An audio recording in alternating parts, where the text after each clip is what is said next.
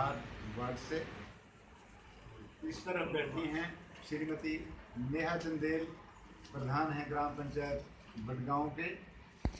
और मेरे इस अगली तरफ़ नेहा के साथ पहले ये श्रीमान कांशीराम जी हैं। प्रधानमंत्री श्री नरेंद्र मोदी की जन कल्याणकारी व प्रगतिशील नीतियों की वजह से हमारा देश चहुमुखी विकास कर रहा है। श्रीमान मोदी जी के प्रधानमंत्री बनने के बाद हमारे देश का रुतबा पूरे विश्व में बढ़ा है। मैं भी राष्ट्रवादी सोच रखता हूँ और हम माननीय प्रधानमंत्री द्वारा अपनाई जा रही नीतियाँ, नीतियों का पुरजोर समर्थक भी हूँ। मैं भारतीय प्रशासनिक सेवा से वर्ष 2000 में सेवानिवृत्त हुआ। लोगों द्वारा मुझे बार बार आग्रह किया गया कि मैं उनका प्रतिनिधित्व करूँ जन भावना की कदर करते हुए मैंने निर्णय लिया मैं लोगों के बीच जाकर उनके विचार और भावनाओं को पहचानूं तथा इस कड़ी में लगभग एक वर्ष से लोगों से पूरे झंडुता चुनाव क्षेत्र में घूमकर जनसंपर्क बनाता रहा हूँ।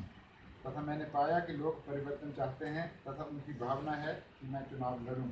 अतः लोगों के आग्रह करने पर व अपने बाकी बचे जीवन में उनकी सेवा करने जनता के बीच जा रहा हूँ और आम जनमानस का हमें अपार जन समर्थन भी मिल रहा है।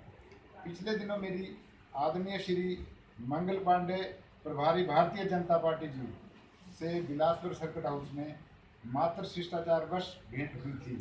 अतः इस संबंध में छपी खबर कुछ दिनों बाद जो आपके प्रेस में या यहाँ छपा, वो तथ्यों के विपरीत है। मैं किस विचारधारा का व्यक्ति हूँ, यह जनता भली भांति जानती है। तथा सार्वजनिक सार्वजनिक जीवन में जनता ही नेताओं को स्थापित करती है तथा जनता ही विस्थापित करती है।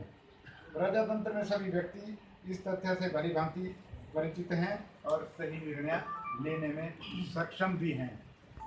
सब लोग आपकी दिनचर्या और लोगों की जो सोच है, वो समाज निर्माण के लिए, व्यक्ति निर्माण के लिए और राष्ट्र निर्माण के लिए।